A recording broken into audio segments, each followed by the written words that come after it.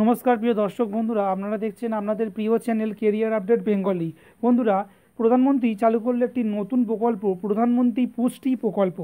তো এই প্রকল্পের মাধ্যমে প্রচুর মহিলাদের এর চাকরি হতে চলেছে এবং সেই সঙ্গে যেই সমস্ত ছেলেমেয়েরা স্কুলে পড়াশোনা করে থাকে, তো তাদেরকে নানান ধরনের এই প্রকল্পের মাধ্যমে খাবার দেওয়া হবে।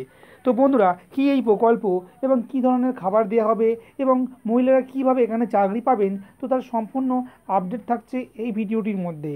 তাই বন্ধুরা, ভিডিওটিকে একেবারে স্কিপ না করেই শেষ পর্যন্ত দেখতে থাকুন।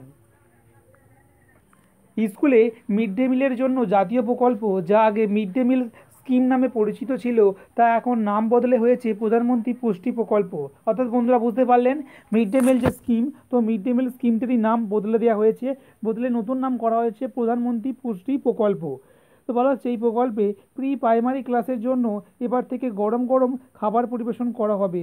এই সুবিধা আগে শুধুমাত্র ক্লাস ওয়ান থেকে অষ্টম শ্রেণি পর্যন্ত সীমাবদ্ধ ছিল। এর থেকে দেশের এর এগারো দশমিক কুড়ি লক্ষ স্কুলের এর এগারো কোটিরও বেশি ছেলেমেয়েরা সুবিধা পাবে বলে মনে করা হচ্ছে।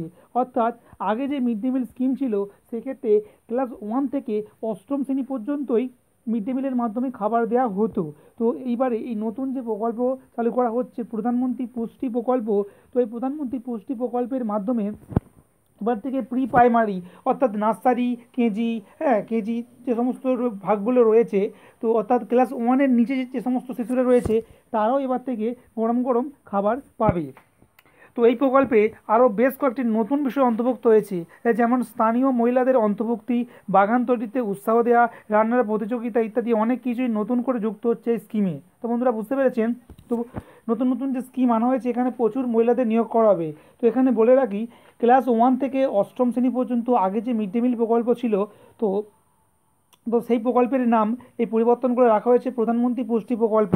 তো এবার থেকে এই প্রধানমন্ত্রী পুষ্টি প্রকল্পে একেবারে ক্লাস ওয়ানের নিচে যে সমস্ত ছাত্রছাত্রীরা রয়েছে তাদেরকেও খাবার দেওয়া হবে। তো বন্ধুরা বুঝতে পারছেন, সেক্ষেত্রে কিন্তু কয়েক কোটি ছাত্রছাত্রী কিন্তু পরিমাণ বেড়ে যাচ্ছে। কারণ ক্লাস ওয়ানের নিচে যে সমস্ত ছাত্রছাত্রী রয়েছে, তার সংখ্যাটা কিন্তু নেহাত কম নয়। কয়েক কোটি ছাত্রছাত্রী রয়েছে, তো সেক্ষেত্রে তাদেরকে যদি খাবার পরিবেশন করতে হয়, সেক্ষেত্রেও কিন্তু প্রচুর মহিলাকে নিয়োগ করতে হবে। তো বন্ধুরা, বুঝতে পেরেছেন? অর্থাৎ যে সমস্ত মিড ডে মিল যারা রান্না করে, সেক্ষেত্রে কিন্তু আরও নতুন করে মিড ডে মিল কর্মী নিয়োগ করা হবে। তো প্রচুর মহিলা কিন্তু এখানে চাকরি পাবে। এছাড়াও এই স্কিমে আরও বিষয় অন্তর্ভুক্ত করা হয়েছে, বাগান তৈরি করা, রান্নার প্রতিযোগিতা, এই বিষয়গুলো কিন্তু এখানে আনা হচ্ছে। তো বন্ধুরা, বুঝতে পারছেন? তো প্রচুর মহিলার কিন্তু এখানে চাকরি হবে। অর্থাৎ নতুন করে যেমন ছোটো ছোটো বাচ্চারা এটা ক্লাসের অনেক নিচে রয়েছে, তারা যেমন এখানে খাবার পাবে, সেরকমই সে সমস্ত ছাত্রছাত্রীদের খাবার তৈরি করে দেওয়ার জন্য প্রচুর পরিমাণে নতুন নতুন মহিলাদেরও কিন্তু নিয়োগ দেওয়া হবে। তো বলা হয়েছে যে এই স্কিমে অ্যানিমিক শিশুদের জন্য পুষ্টিসম্পন্ন খাবার পাওয়ার বিষয়টি নিশ্চিত করার মতো আরও অনেক কিছুই করা হচ্ছে বলে জানা গিয়েছে। কেন্দ্রীয় শিক্ষামন্ত্রী ধর্মেন্দ্র প্রধান জানান, কেন্দ্রীয় সরকার এই প্রকল্পে নিরানব্বই কোটি টাকারও বেশি খরচ করবে আগামী পাঁচ বছরে। এতে অন্তর্ভুক্ত হয়েছে তিথিভোজন সোশ্যাল অডিট, সোশ্যাল নিউট্রিশন গার্ডেন্সের মতো আরও অনেক কিছু, যা এই প্রকল্পকে সফল করতে সাহায্য করবে। বর্তমানে মিড ডে মিল সংক্রান্ত যে প্রকল্প চালু আছে, তো তার সঙ্গে যুক্ত হবে প্রধানমন্ত্রী পুষ্টি প্রকল্প। রাজ্য সরকারগুলির সঙ্গে যৌথ উদ্যোগে এই প্রকল্প চালানো হবে। তবে প্রকল্পের বেশিরভাগ আর্থিক খরচ বহন করবে কেন্দ্র। প্রধানমন্ত্রী পুষ্টি প্রকল্পটি পাঁচ বছরের জন্য চালু করা হবে এবং এর জন্য কেন্দ্রীয় সরকার খরচও নির্দিষ্ট করে দিয়েছে।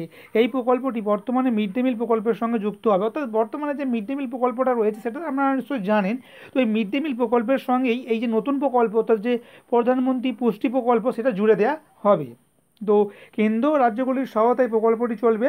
যদিও প্রকল্পের বেশিরভাগ খরচ হচ্ছে কিনা, বেশিরভাগ হচ্ছে কিনা খরচ বহন করবে কেন্দ্র সরকার। অর্থাৎ বেশিরভাগের খরচটা কিন্তু কেন্দ্র সরকার বহন করবে। তো বন্ধুরা, বুঝতে পেরেছেন? তো প্রধানমন্ত্রী পুষ্টি প্রকল্প এখনও পর্যন্ত আপডেট দেওয়া হয়নি কবে থেকে চালু হবে। তো খুব শীঘ্রই এই ব্যাপারে আপডেট চলে আসবে এবং যখনই কিন্তু চালু হবে, তো সবার প্রথমে আপনাদেরকে জানিয়ে দেওয়া হবে এবং এ ব্যাপারে যখনই কর্মী নিয়োগ করার বিজ্ঞপ্তি প্রকাশ করা হবে, তখনও কিন্তু সবার প্রথমে আপনারা এই চ্যানেলের মাধ্যমে আপডেট পেয়ে যাবেন। এই বন্ধুরা, অবশ্যই এই সংক্রান্ত আরও লেটেস্ট আপডেট পাওয়ার জন্য এই চ্যানেলটিকে সাবস্ক্রাইব করে অল নোটিফিকেশানটিকে অন করে রাখতে একেবারেই ভুলবেন না।